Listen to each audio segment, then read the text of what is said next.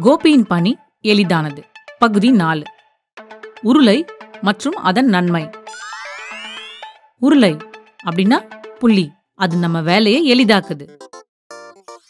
அதோட உதவியால கிணத்துல இருந்து தண்ணீரை வெளியேற்றலாம். இல்லனா அதிக எடைய உயரத்துக்கு உயர்த்துறதுக்கு எளிதா இருக்கும். உருளை ஒரு முதல் வகை நெம்புக்கோள் அதாவது லிவர். ரெண்டு முனையிலையும் சுமை அப்புறம் முயற்சி இருக்கும். அதோட நடுவுல சுழல் மையம் இருக்கும்.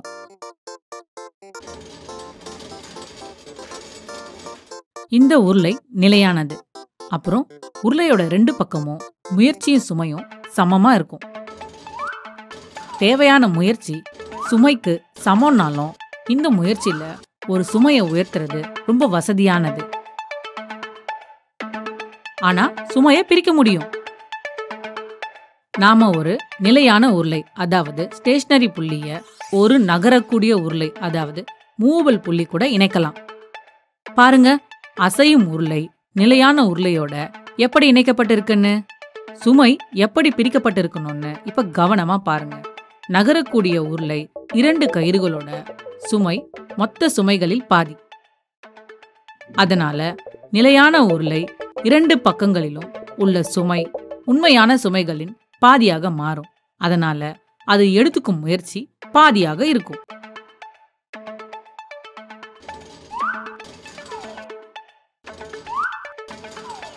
நாம நகரக்கூடிய இன்னொரு உருளையை சேர்த்தா என்ன நடக்கும்? முதல் நிலையான உருளையில சுமை இப்போ இன்னொரு முறை பாதியா குறையும்.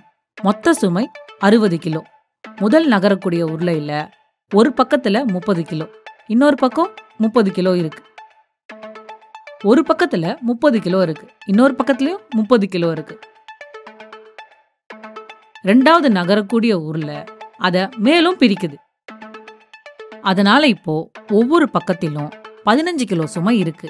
இப்படி நிலையான உருளையில் ஒவ்வொரு பக்கத்திலும் பதினஞ்சு கிலோ சுமை இருக்கு. அதனால அறுபது கிலோ எடையை உயர்த்த பதினஞ்சு கிலோ முயற்சி மட்டுமே தேவை. இயந்திர நன்மை. அதாவது மெக்கானிக்கல் அட்வான்டேஜ்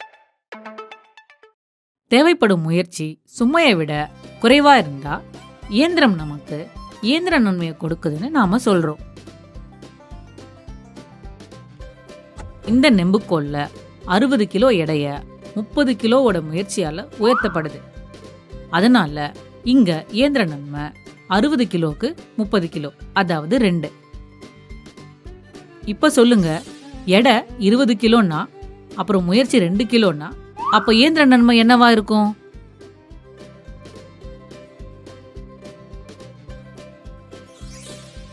இந்த ஒரு உருளை மூலமா அறுபது கிலோ சுமையை உயர்த்த அறுபது கிலோ முயற்சி தேவைப்படுது. அப்போ இயந்திர நன்மை ஒன்று மட்டும்தான். ஏன்னு உங்களால் சொல்ல முடியுமா? இந்த உருளையில் அறுபது கிலோ சுமையை பதினஞ்சு கிலோ முயற்சி பயன்படுத்தி உயர்த்தப்படுது.